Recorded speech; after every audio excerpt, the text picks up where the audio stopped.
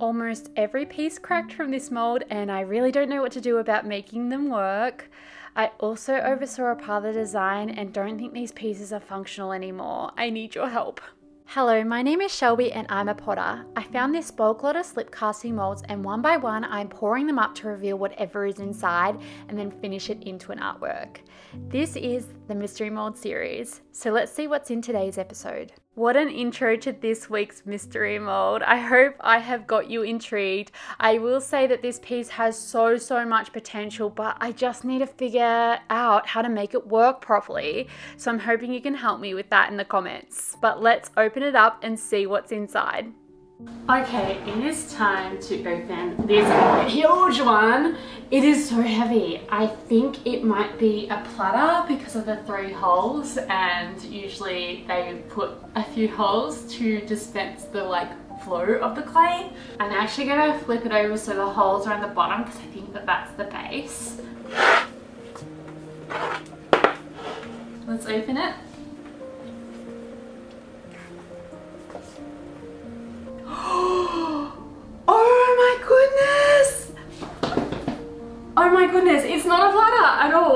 I am so happy right now. I've just opened it and it's actually a set of three birds. Do you know like the ducks on a wall and they're like one big, one medium, one small and they're like flying? I have always, always, always wanted a set of those. The only thing that could one up the ducks is a native Australian animal version of them. And that's what I got. It's a row of flying galahs. Each one is a different size, so it goes small, medium to large. I don't understand why this mold is so heavy in particular. I think it might just be the batch of plaster that they made it from. These molds, like if I could have gotten a mold, this would be it. I, I, have always done Australian native animals and to have my own versions of the flying birds on a wall but an Australian native bird who made this because I want to hug them. It makes me so, so happy. All the birds have this like indent for another wing to like come out. So I'm gonna go have a look to see if I can find that wing. I'm gonna assume that it's gonna be the same rectangular shape with three holes again. This is gonna be really cool, but let's go see if we can find the other mold. All right, so I just dug this one out and it actually has galah on it. It was actually upside down, it had angel wings on it, so I wasn't sure if it was it, but when I flipped it over, it does have galah. So let's just have a look. Yeah, that's definitely them. So let's go pull them up and attach them. They're perfect. So we have the wings here. Oh my gosh, that is gonna be so cool. I wonder if there's a way I could hang some like native dried flowers from these, like they're flying through the trees. Let's paint them up. So there you have it, a set of three flying galahs and here is a look at the mold for anyone that's looking for it. It has no detail on it other than the galah that's carved out onto the piece. My first actual issue with this piece, which I mentioned, is that it had a lot of cracking. Before you jump to conclusions, it's not because of this wing. The wing I attached actually ended up perfect. It's actually another issue that's causing the cracking. I am just gonna say that these are beautiful, they are amazing, but my gosh, they they tested my patience. They tested my studio assistant's patience because she also helped me make some of these and help clean them up.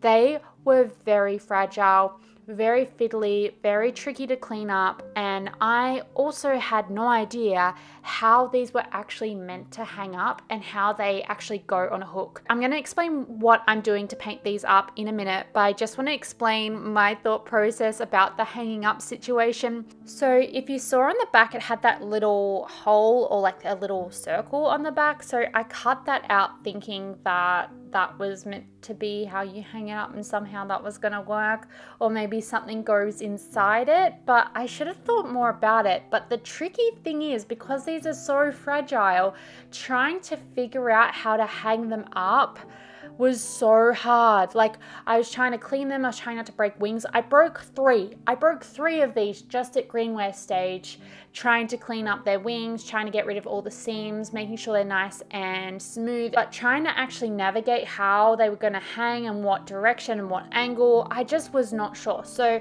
I thought I would leave some of them a bit more hollow so that the hook could go inside the bird and also cut out that hole and figure it out once they were fired. I should not have done that. I should have just used one as a prototype and not attached the wing and figured out how to hang them. But instead, I just went all in and was like, let's make lots of these things and we'll figure it out once they're done. That was wrong. I shouldn't have done that. The other thing I thought about was maybe doing some Kanthal wire. So I use that heat resistant wire in a lot of my work of making a really thick hoop and maybe putting a couple of those on the back. But then I was like, how do I fire this? Is that going to make it fragile? If it's sitting on that wire, is that wire going to bend and sort of like go back into the piece? Like I just was a bit worried to do that.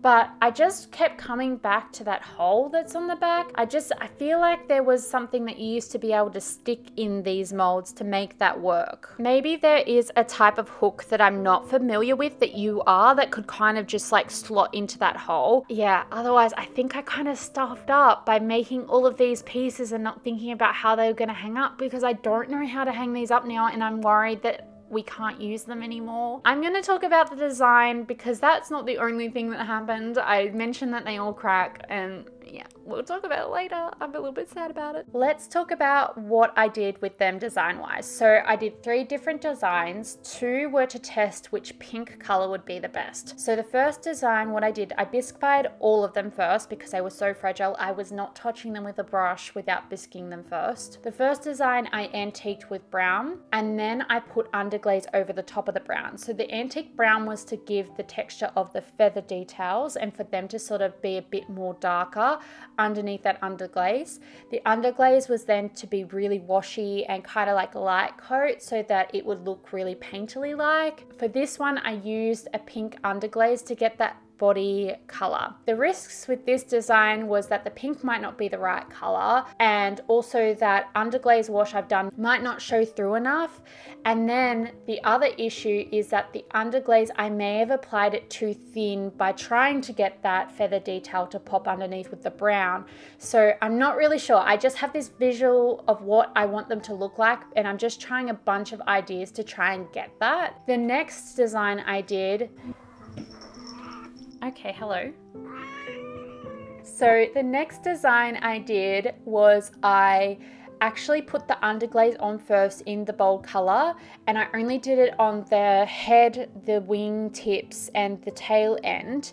I bisque fired that on. I antique washed it with the brown over the top of the underglaze and then I put a pink glaze over the pink body part. This pink glaze will hopefully be able to show a little bit of that brown underneath whilst also having the brown a little bit more prominent on the wings and then I dipped the wings and everything into the clear glaze as well. It was a bit of a process for those two designs and both are just trying to make sure I get the right colouring, the, the, the proper colouring of a galah. The next design was a little bit of fun and a little bit of an experiment because a couple weeks ago I did a really cool vase and I wanted to use this matte glaze and I stuffed up and didn't think it through but I still really want to use this matte glaze. So I decided I would do a set because there's three of them. I'll do one bird in each of the matte glazes. I am going to fire it hotter than the actual specified temperature of this glaze. So I do know that it's going to turn a bit glossy and it's not going to work the way it's actually meant to work. But I thought it would be so cool just to see them. And I kind of imagine them like that really like bold 50s pastel color on the wall.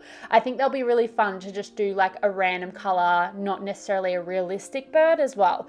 So that was the process.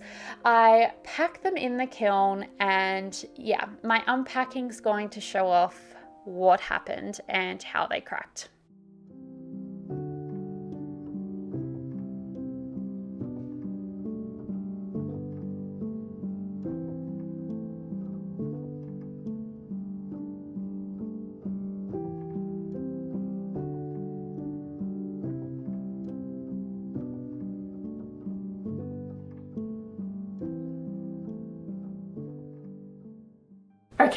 It's time to open the kiln we've got the glass inside. I'm a bit nervous they haven't worked and look the way I want them to, but we'll open that together.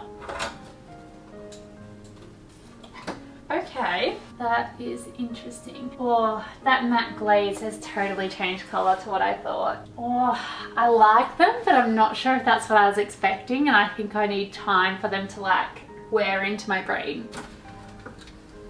They look good. I'm not sure if I love how neony that pink has come out. I feel like the underglaze did better than I thought. I thought that was going to be the one I didn't like. Oh my god. Oh no! Oh, that one is so creepy. it is so possessed, it's staring right into my soul. That's so bad. Yeah, that one looks like it's under the influence. oh no.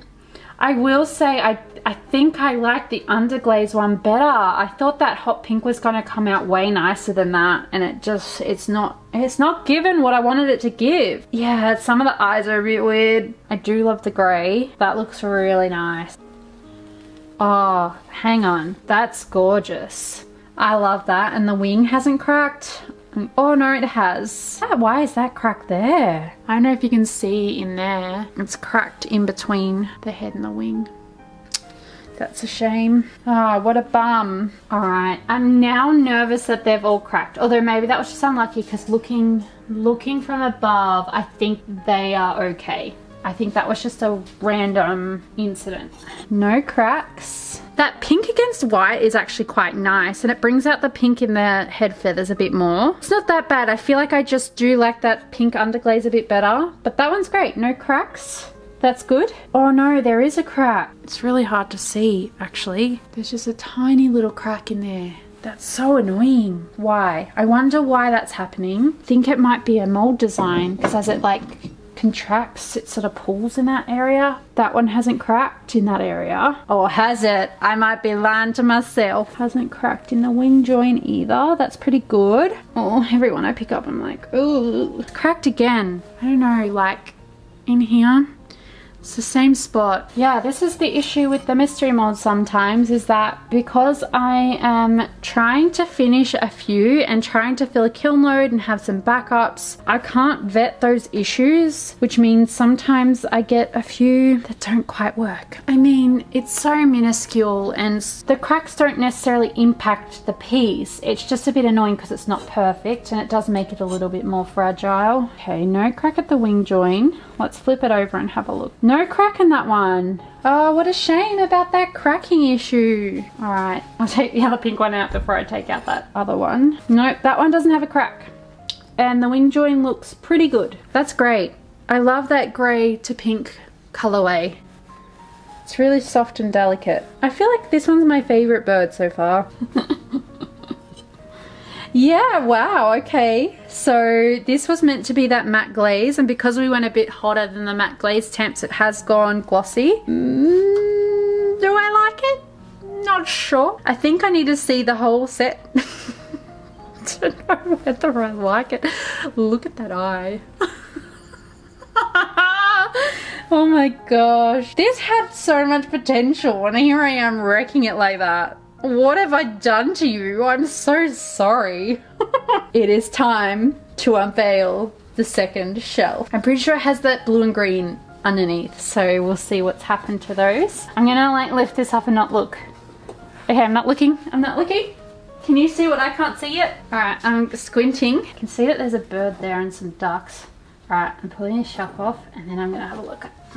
What do you think? What do you think my reaction's gonna be before I react to it? Three, two, one. Oh, wow, okay. I love that color. That yellow is pretty cool too, but I love that blue. They still look a bit possessed, but not as possessed as the purple, maybe because it was a lot darker in comparison, so the contrast was a lot more prominent. These ones look nicer too. Maybe I've just gotten used to the look of them now and I'm like, ah, they look great. Ooh, I can see how that was gonna have a matte look to it. Texture of that, but it does have a bit of a gloss to it. I really love how it's got that shimmer in between the wings. The eye is a little bit jarring. I feel like I should have glazed over that so you could just see that eye detail, but it's sort of blended in a bit more. But otherwise, I really like that color. That's nice. I can see where the matte was coming into that. Oh, I forgot to report on cracks. That one has a tiny, tiny, tiny little crack just here, but not bad. Alrighty, so we've got this yellowy one, which was meant to be, I think, like a mint green. And you know what? I can see what color that was going to be as a matte as well, but I also love that shimmer it's got in between the wings. That's quite nice. And as for cracks, ooh, no cracks on this one. Look at you go. There's a few that didn't fit in the kiln, so I'm gonna have to fire the kiln again. Oh no, and also a crack on the back there as well. No crack on that wing. Pretty impressed with that one. Yeah, what a bummer about all those cracks though. So there we have it. It cracked between the wing and the head. I just don't know how it happened because they didn't warp at all when you pulled them out. I just feel like maybe when they're drying and getting fired, they kind of contract a little bit and that's where they pull and crack in that seam. This piece is just so beautiful. I want to do it justice and trying to edit this video has had me so like heartbroken that I couldn't do it justice. I know that that sounds like I'm being really hard on myself, but I think it's just because I really appreciate the design of this piece that I just want to bring it to life in the best way I can. You know what? I did the best I can and I love how these turned out.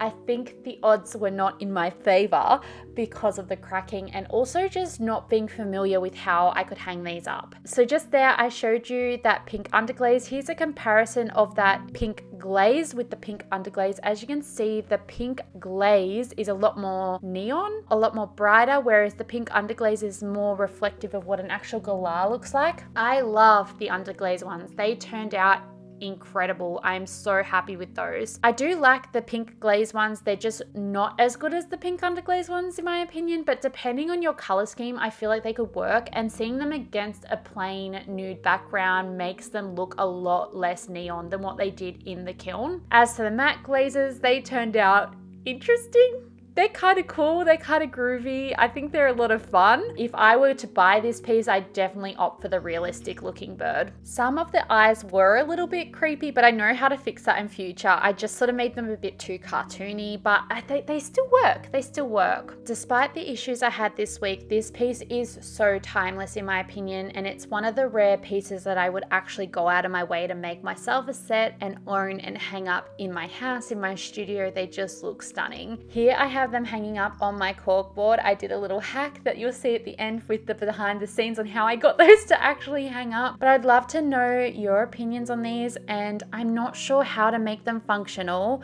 So please let me know in the comments if you've got some ideas on how we can actually make these hang so I can actually share them with you. Otherwise, thank you so much for watching. Here is your sneak peek for the next reveal and some behind the scenes of me getting these to hang up and some bloopers too. I am, oh! No one's gonna know. Will it work? I don't know. But we're gonna give it a go. These birds might actually take flight today. Okay, okay, okay. Okay. Okay. I'm scared. Okay, just go for it and then if it falls, it falls. If you go down here, you can be the lowest. Alright. Alright, alright, alright, alright.